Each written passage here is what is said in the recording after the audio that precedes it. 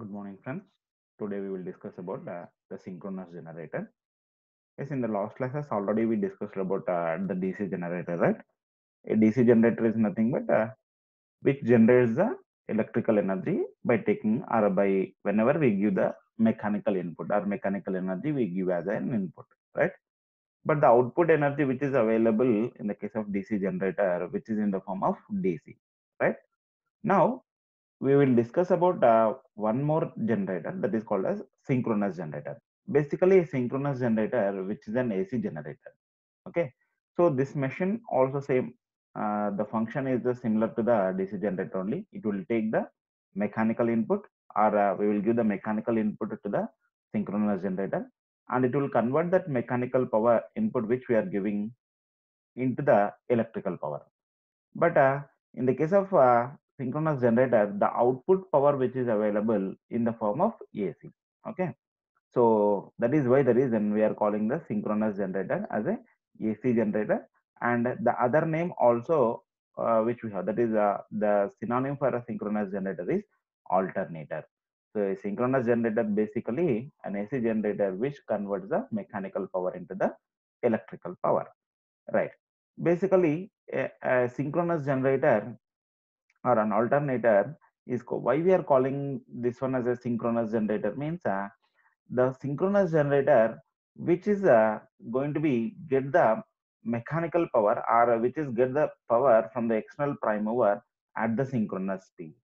It means uh, always it rotates or uh, always it generates the electrical power with synchronous speed only. It is having it is having the unique feature that is a rather than having the different speeds always it generates the electrical energy with the same amount of speed and or we can say the constant speed and that speed what we are calling it as a synchronous speed. So alternator why we are calling it as a synchronous generator means it's getting the mechanical power from the external prime mover at a constant speed and that speed what we are calling it as a synchronous speed right? So this is what the introduction about the synchronous generator and now let's discuss about the principle of operation. As uh, in the case of DC generators already we discussed. So according to the Faraday's laws of electromagnetic induction, when a flux is cut by the conductor or when a conductor crosses the magnetic field, there will be an induced EMF in the conductor. So uh, in order to generate the EMF, here also same in the case of synchronous generator also, we require both the field and as well as armature conductors so here also they same it was this thing this machine also it works on the principle of electromagnetic faraday's laws of electromagnetic induction. Whenever the flux is cut by the conductor an emf is induced in the conductor. Same similar to the dc generator. An alternator has also having same armature and field. So similar to the case of dc generator we will have the armature in the synchronous generator. Same uh, field circuit also we will have okay but uh, there is some important difference uh, we have between the DC generator and as well as the synchronous generator. What that difference? So constructionally there is a difference. So construction wise in the case of DC generator, we have armature conductors on the rotor circuit. It means armature conductors are rotationary in the case of DC generator. And uh, field circuit, we are making it as uh, that is stationary. So that's why we are calling field circuit of DC generator is a constant and armature conductors are rotational in the case of DC generator. But whereas in the case of uh, alternator, whereas in the case of alternator, we are made the field circuit as stationary. So just a reverse to the case of alternator we are using. We are making the field circuit as a stationary in the case of DC generator. But in the case of alternator, we are made the armature circuit as a stationary and uh, field circuit we are making it as rotational one. That is what the main difference. Just uh, no more confusion. In the case of DC generator, field circuit is constant, whereas in the case of synchronous generator, field circuit is made, made as rotational one. Whereas in the case of DC generator, armature is the rotating one. Whereas in the case of synchronous generator, armature is the stationary one. Just reverse to the case of a DC generator we are using in the case of synchronous generator. Okay, now let us discuss what the advantages that is we have. Yes, uh, we can, similar to the DC generator, we can make the armature as a rotating rotating one even in the case of synchronous generator. But uh, due to some advantages that we have in the synchronous generator, we are making the armature as a stationary circuit in the case of synchronous generator. Now let's discuss in brief uh, what the advantages that we have by making the armature as a stationary circuit in the case of synchronous generator or alternator. Okay, right. The first important advantage is the generated voltage can be directly connected to the load so that the load current need not pass through the, through the brush contact. So in the case of uh, uh, when you made the armature as a stationary part, since it is not rotating, right? So directly we can connect the directly we can connect the load current and there is no need of any brush contact. We are using the brush contacts to collect the current from the rotating armature in the case of DC generator. If armature itself is not a rotating one, then there is no need to use the brush contacts to collect the load current and directly we can connect in the case of DC generator since it is a stationary made, right? And uh, it is easy to insulate the stationary armature. Now, when the armature is rotating, then uh, it is very tough task for the technical engineers to made the, to made uh, insulation for that uh, when armature is rotating, right? So rather than to go for that such uh, rotating type of armature, why what we are doing, if you made that stationary armature, then it is very easy task to insulate. Why? Because uh, we are here, we are using uh, in the order of uh, 11 kV or 32 kV, 33 kV. So such a high voltage if you want to insulate, so better to make the armature conductors or armature circuit to be a stationary only. Next, the sliding contacts, that is, the slip rings are transferred to the low voltage, low power, obvious. This is also one more advantage that we have. Okay, the next one, the armature windings can be easily forced to present any deformation produced by large mechanical stresses, stresses set up due to the short circuit current and large centrifugal forces that might be set up. So here, one more advantage what it is means, the arm, since the armature is made as a stationary, right? So that is why the reason the armature windings can be easily braced to present any deformation produced by large mechanical stresses. If it is a rotating one, then it is a, somewhat a, a tough task to brace, right? So because of this uh, making this uh, made by making this uh, uh, armature circuit stationary, this this will be very easy for us. Okay. So because of these advantages, we are going for a stationary armature rather than to make the armature circuit as a rotating one. Okay. Now let us discuss with what amount of EMF, uh, sorry, with what amount of frequency there will be an induced EMF. What is frequency already we know, right? In generally, how we will define the frequency? Frequency is nothing but how many number of cycles it is having per second. Generally, frequency is nothing but uh, in a second of time how many number of cycles it completes that uh, which denotes the frequency. Now uh, in the case of a synchronous generator the type of emf is uh, produced is a sinusoidal in nature. That is a this is how the voltage waveform which we are going to be have. So for positive half cycle it is having and the negative half cycle we are. Now let us take a simple example okay? Using this example now let me tell you how the emf induced in the synchronous generator and what kind of waveform it is having and what the frequency it is having and how to calculate that.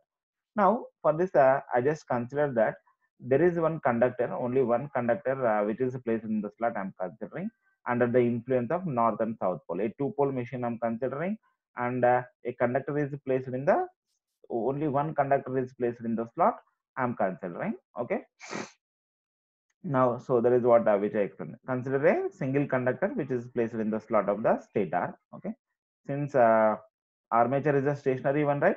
So in the stationary circuit, I am play I am having the armature is nothing but armature conductor it is having.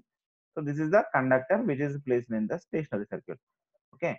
Now let the conductor, sorry, now let the rotor with uh, alternate poles N and S to rotate with angular velocity of omega in the clockwise direction so that now i'm considering that uh, i'm having the two alternate poles north and south and that to be rotated in the angular uh, with angular velocity of omega it is rotating.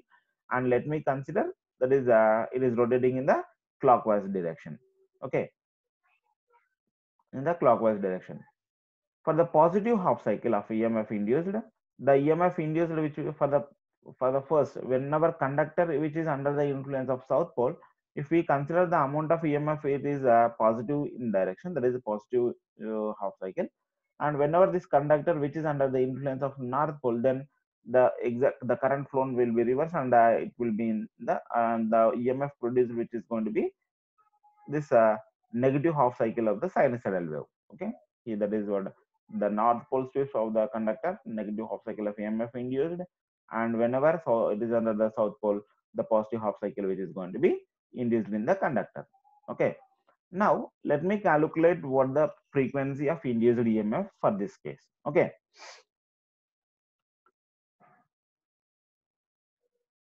So how many number of poles in this case we have? Two number of poles right? And angular velocity we consider it as omega. So the number of cycles of emf induced is equal to how many number of uh, here? I'm considering that for one complete revolution of uh, uh, only for one revolution i'm considering so whenever this armature conductor rotates clockwise once so it is un, it is a sweeps over under the influence of south pole and it is a sweeps over under the influence of north pole so whenever this conductor under the influence of the south pole, there will be a positive EMF induced and uh, whenever this conductor which is under the influence of north pole, there will be a negative half cycle of EMF induced. So the number of cycles uh, which it is made, that is what I am calculating here. Number of cycles of EMF induced is equal to how many? Number of poles by 2. So see here, how many number of cycle, cycle means uh, uh, one complete and one positive and negative half cycle which represents one complete cycle. So how many cycles here we have? One cycle.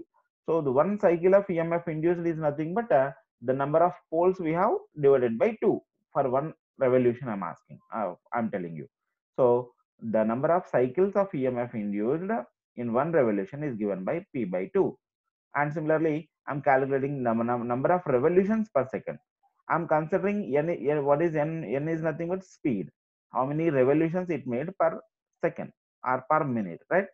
Here, uh, per second, if you want to calculate, actually n is nothing but RPM. In RPM, we will have revolutions per minute.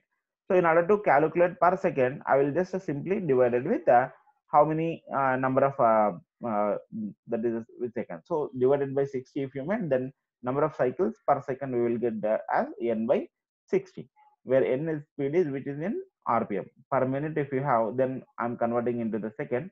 So divided by 60 if you do then we will get the, in terms of a uh, second. Therefore the frequency of induced emf which is nothing but the number of cycles per second is given by simply you calculate uh, f is equal to number of cycles of emf induced per revolution into number of revolution per second.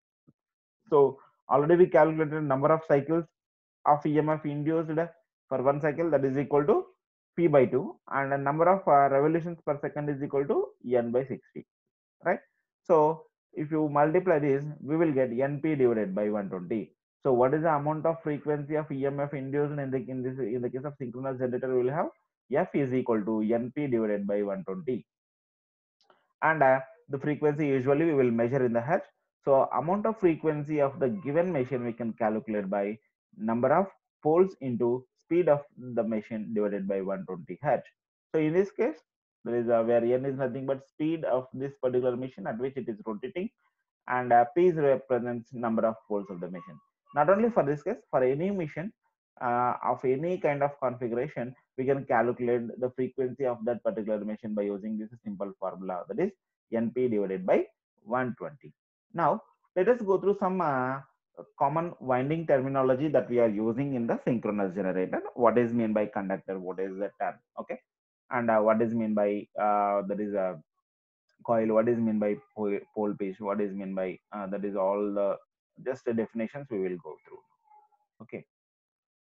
First, let us go through conductor. What is conductor? A conductor is nothing but uh, the part of the wire.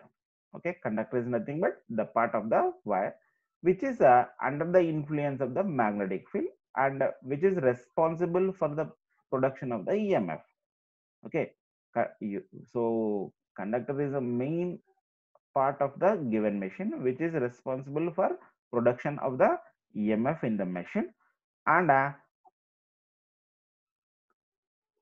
for the production of EMF. So it is called active length of the conductor. The conductors are placed in the armature slots. Okay usually how this uh, total winding how it is made usually armature is having either uh, outer or inner periphery slots right in that the slots we will provide the armature conductors that is what the conductor what is mean by turn turn means a conductor in one slot when connected to a conductor in other slot which is forms like is a turn now simply i will explain you uh, here so what is a turn a conductor in one slot when connected to conductor in the another slot so this is one armature slot and this is one another armature slot. Here we have one conductor, here we have one conductor. When you connect these two conductors, it forms one coil. Okay. Or sorry, one turn we are it, it going to be formed. So always a turn which consisting of two conductors. Two conductors forms one turn. And a coil. Coil is nothing but uh, the number of turns are grouped together to form a coil. Okay. So the uh, uh, how many number of uh, conductors that get connected it depends upon the type of uh, configuration but usually coil means uh, it is a group of turns or a group of turns which are combined together which is forms like as a coil okay next pole pitch. It is a center distance okay? It is a center to distance between the two adjacent poles. That is uh, usually 180 degrees uh, electrical is also called as a uh, one pole pitch of the given machine okay? In detail in the next uh, coming uh, topic i will explain you what is this pole pitch in detail. And uh, next one is the slot angle slot angle is nothing but the electrical angle between the two consecutive slots and that is what known as slot angle so slot angle is nothing but uh, it is the amount of electrical decrease between the two consecutive poles. Okay, between the north pole and south pole, two consecutive poles will be there, right? So between these two consecutive poles, what is the electrical angle which we have? That is called as slot angle. Slot angle usually it is uh, defined with beta. Okay.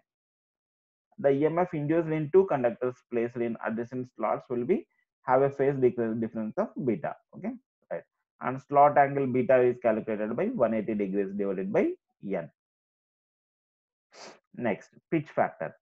Pitch factor is nothing but uh, now uh, with using a simple example, I will explain you what is this pitch factor.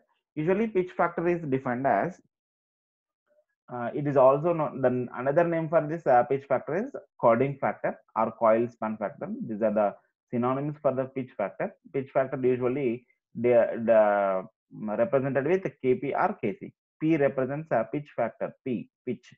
C represents chord. Okay, so that's why we are calling it as a cording factor or coil span factor also, the another names for this pitch factor. Okay, now let me consider one simple alternator. Okay, I'm taking one alternator. It is having 36 number of armature slots.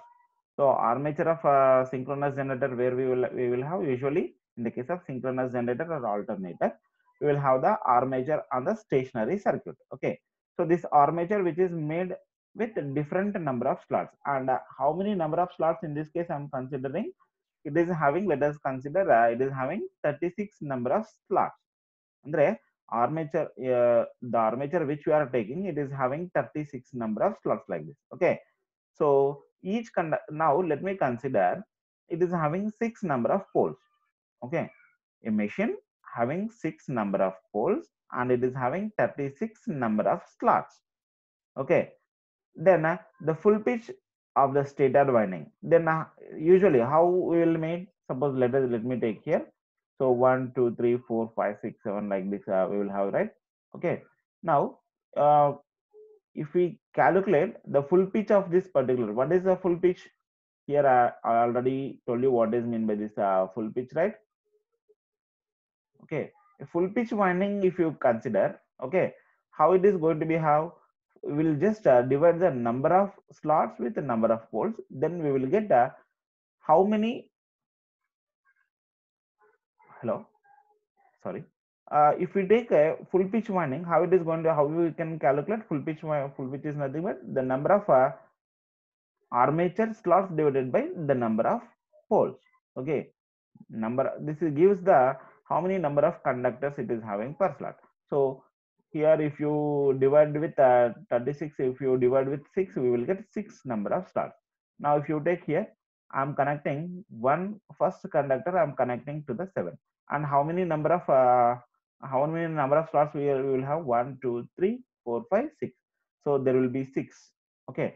So if the two coils are if the two sides of a coil placed in slot number one and seven, and if they are connected together, then that particular winding which is called as a full pitched winding.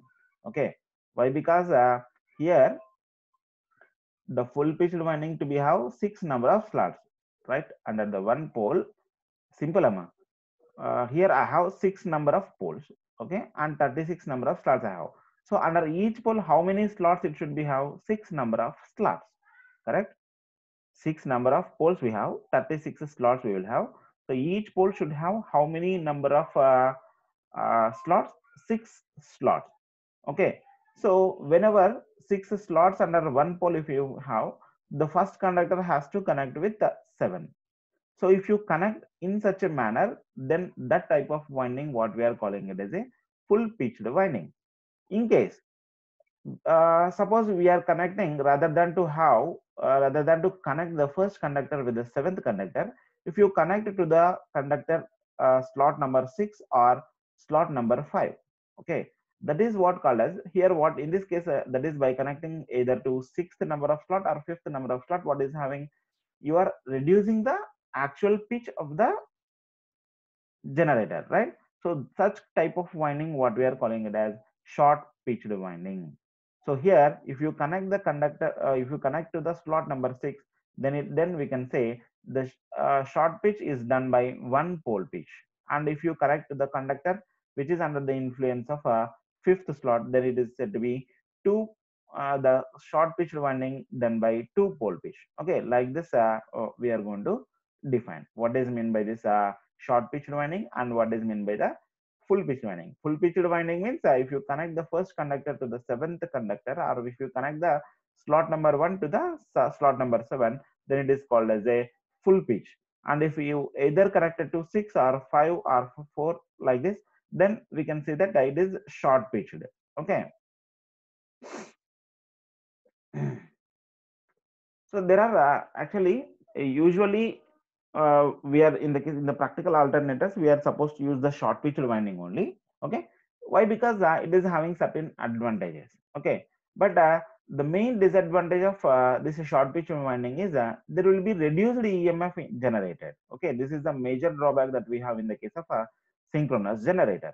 Okay there will be because if we have more number of conductors and uh, under the pole then what will happen? More will be the induced emf but here we are reducing the number of conductors under one pole so automatically the emf induced in that uh, also will uh, decrease okay this is what the major drawback that we have.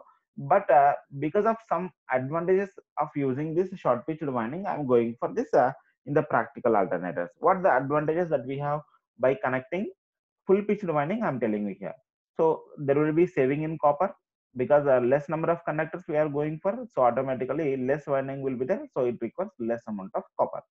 And uh, the main purpose of going this uh, short pitch winding is uh, we can reduce the unnecessary disturbance present or unnecessary waveform or we can call it as uh, harmonics present in the in induced emf so a pure sinusoidal waveform in order to get this is short pitched windings which are going to be helpful for, for us okay? This is the main intention of uh, being going for this uh, short pitched winding and uh, actually this concept which we discussed to discuss what is mean by this uh, pitch factor. So pitch factor is nothing but the amount of emf induced in the synchronous generator when the coil is a short pitched winding and uh, divided by emf induced in the conductors whenever the coil is full pitched okay? So simple. The pitch factor is nothing but the amount of emf induced whenever the winding is short pitched divided by the amount of emf induced in the winding whenever it is full pitched. As just now we discussed that in the case of short pitched winding always the amount of emf is induced is will be less while compared with the full pitched coil. So uh, the numerator part which will be less while compared with the denominator part so the, always that is why the reason we will have the pitch factor value which is less than 1 only and this value of pitch factor we can calculate by using the formula of cos alpha by 2 where alpha is nothing but called as cording coil uh, sorry cording angle or a short pitch angle and this we can calculate by beta into number of slots by which coil sets or coil sets are short pitched. Okay. So this is what about uh, the pitch factor. And now we will discuss about uh, the distribution factor. Okay. What is mean by this uh, distribution factor? This factor is also known as a breadth factor. So that's why it is denoted with KB. And uh, since also it is called as distribution factor, we are denoting with KD. And it is one more name we have that is winding factor. That's why we also defined with uh, it is also represented with KW. Okay. Winding factor and breadth factor and this, these are all the synonyms for the distribution factor. Okay. In a practical generator, the coil sides usually how we will have is a uh, in a practical generator, the coil sides of a phase are not connected in single slot. Usually they are distributed in value. That is a uh, the what this exactly means.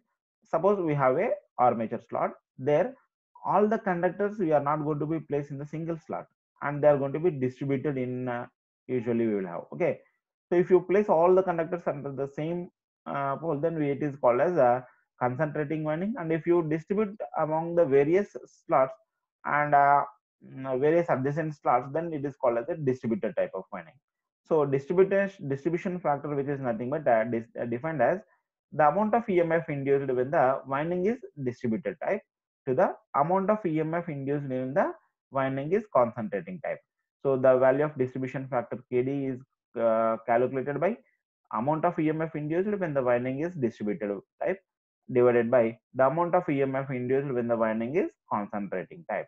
So the amount, the value of distribution factor KD, which is given by this formula, we can calculate, and this for uh, this is the formula using which we can calculate the value of distribution factor. So the value of KD is which is given by KD is equal to sine m beta by 2 divided by m into sine beta by 2, where m is nothing but uh, the number of slots per pole per phase. Okay. The m value we can calculate by suppose 36 slots it is having a six pole machine uh, how many number uh, what is the value of m we can calculate? So number of poles per phase is equal to 6 by 3 three phase uh, if you consider okay. So the if you divide that by with the number of slots then we will get the value of m. And as already we know the value of beta which is given by 180 degrees divided by n or uh, we can calculate by making this of 180 degrees divided by 3n okay? So this is what uh, what is uh, alternator and uh, how the alternator gate works and what is why we are uh, going for the stationary armature in the case of a synchronous generator and what are some common definitions that we are using in the synchronous generator and the what is meant by the distribution factor and as well as what is meant by the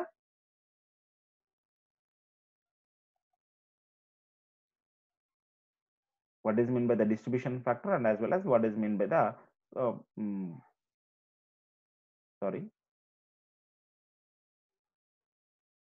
pitch factor sorry right? Thank you. In the next class we will discuss about uh, mainly discuss about the principle of operation